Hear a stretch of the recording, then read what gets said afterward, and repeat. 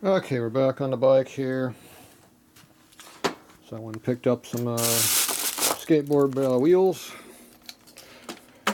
Back over here. So hopefully they're going to work. He said they were standard. I passed on the pink ones, I went for the black ones.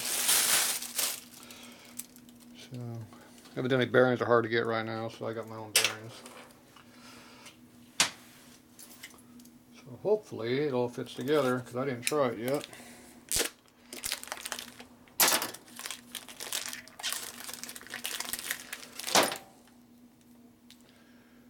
Looks like a wheel. Alright, so this all comes apart.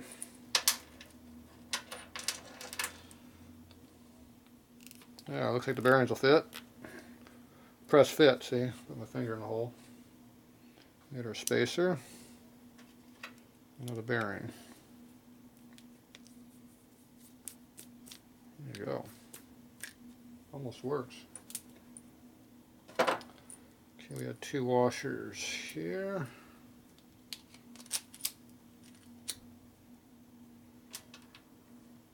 Two washers here. Washer's all chewed up because the chain was hitting on it, so we got another washer.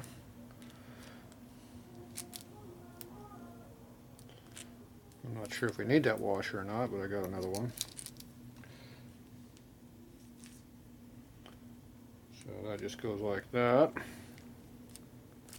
And it rotates and chain goes on it. it doesn't chew it up. So I don't know what happened to the one that was in there, but obviously it disappeared. Alright, so that all should work. So I got a new uh, new lock nut instead of using the old one here, which looks alright. We'll put a new one on it. And we'll put some blue Loctite on it too to make sure it does not come out. We don't want this to fall off. Okay, so put all this up under here and let's see how this works.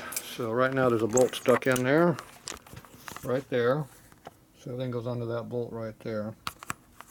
So I have to get down inside of the bike here and try to get into there and do it. So let's see if that gives you a view of what I'm working on. So first thing they had two washers in there. So I'm assuming that was there for spacing purposes.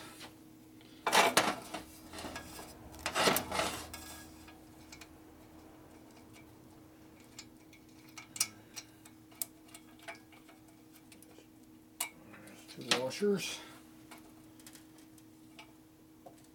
Skateboard wheel. I don't know if that's going to fit in there or not. It looks pretty tight.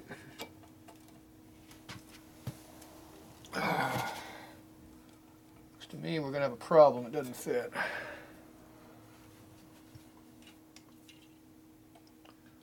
Yeah, enough room in there for it.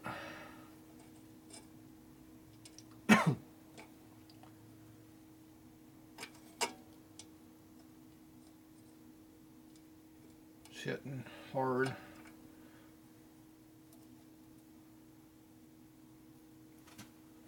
Alright. I knew it was going to be that easy. Not too easy, we just bolt one in.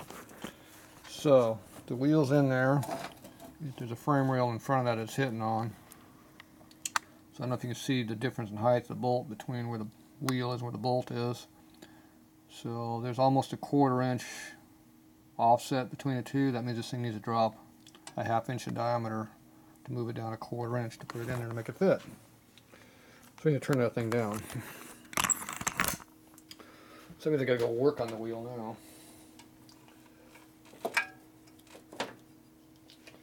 So I got to turn this thing down. Quarter inch about like this thick here I guess. So I gotta figure out we're gonna do that. I'm not sure yet. But we'll go figure it out. That's why we have a lathe. Make it work. So I have to figure out how we're going to hold on to this thing to do all this. Yeah, get right there in front of me. Be perfect. So, first problem is you got bearings here that's going to all rotate, so that doesn't hold very well. I could hold on to this, turn it, and flip it around, hold it, and turn it. That's probably the best way of doing it.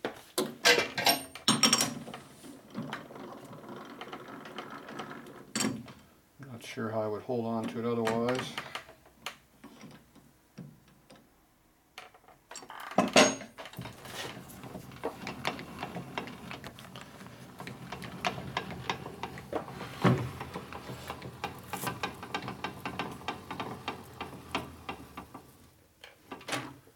All right. So that should center it hopefully.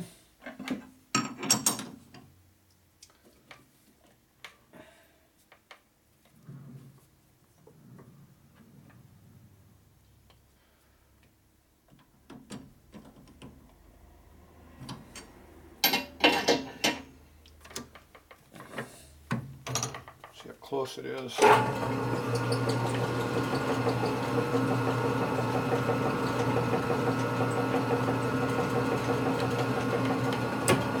It looks like it's turning close enough for me to be true. So we're coming off the center bearing down here. See, it looks like it's pretty concentric. not really wobbling too much. The uneven wheels moving, but not the actual diameter and everything is consistent. If you look at the bottom of the wheel under here, between here and now, you'll see it's not bouncing. So I've hold on to enough that I can just cut it down now. So we're going to cut it down quite a bit. I'm thinking a good quarter inch ought to do the trick.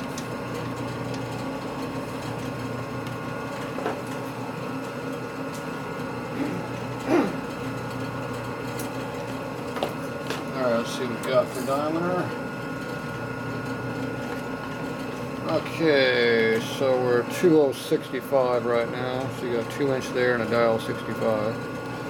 So if you knock it down to uh, one and a half inches, that'll be 275 thou per side clearance. Might be enough to do the trick, I don't know. We'll find out.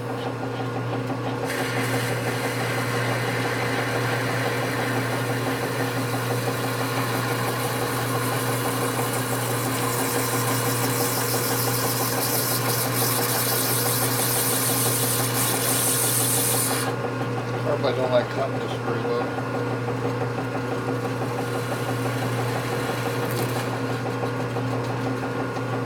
Piece foot off.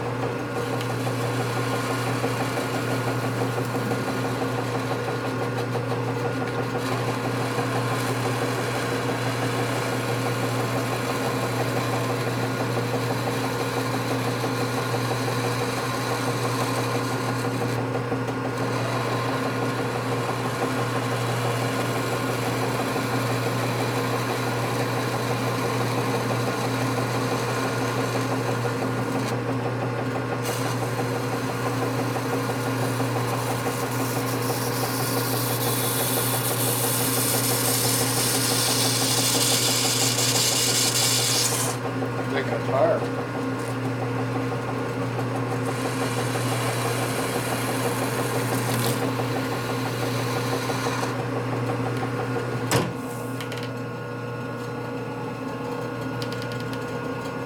So it cuts underneath it, it goes up sideways, and then you got a strip left over like that when you cut it off. Pretty tough. Alright, so far are we down now? Ah, sharp edge.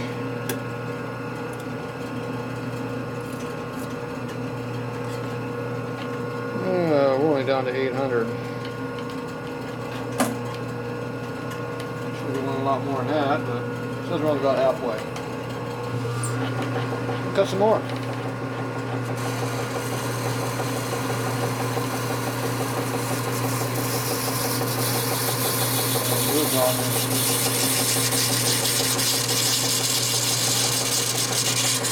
Much pressure. Moved.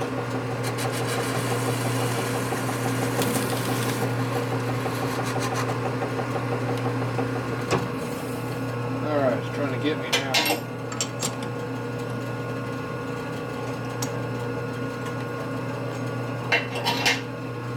Recenter it. Looks good. I'm gonna up to now. There, we're at 700.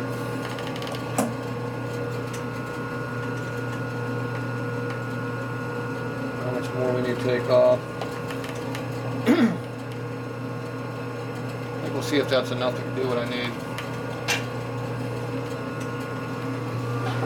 I cut that true, it's not true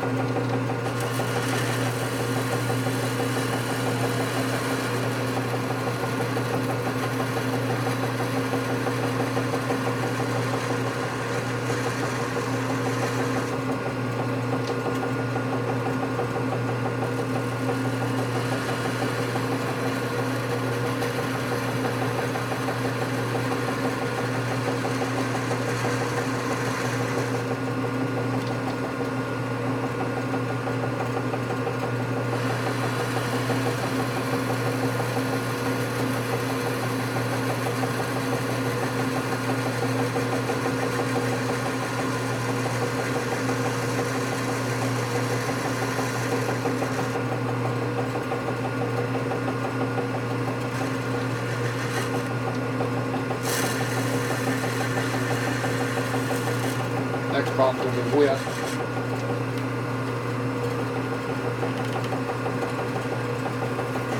off.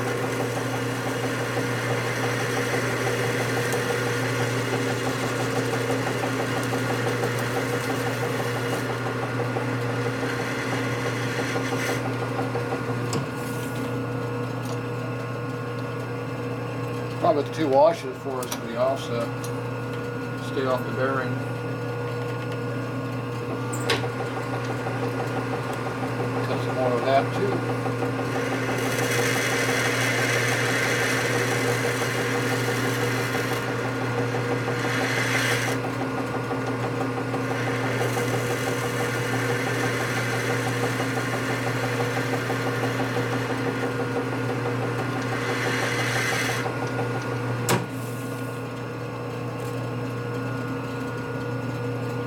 Yeah, that looks good.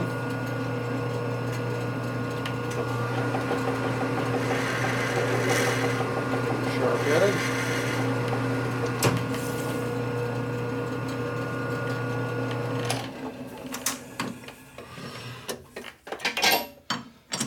Alright. So we cut it down pretty good. We shaped off flush. So you got the two washers will get you off this edge because you only rub it against the frame when you tighten it down. Because this here sticks out way too far. So I'm just going to flip it around, chuck it right here, and turn it back down here to match. And we'll go see if it bolts in and does what we need. We're still a bit bigger than I think we need to be, but close enough.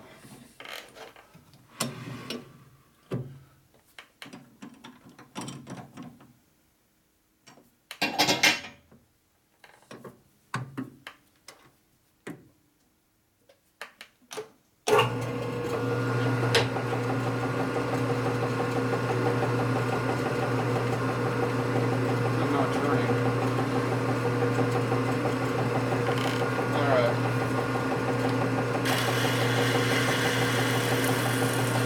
Cut this away.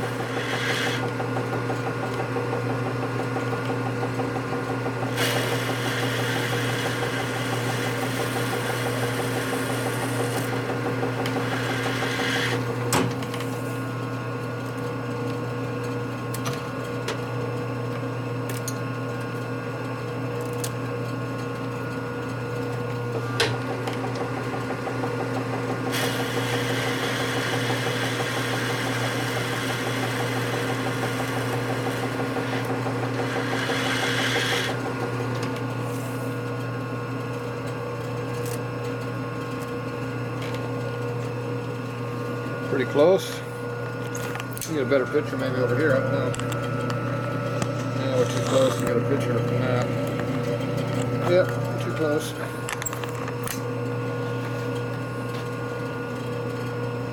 Okay, we're about the same distance as the other one. I'm gonna go ahead and cut this off here.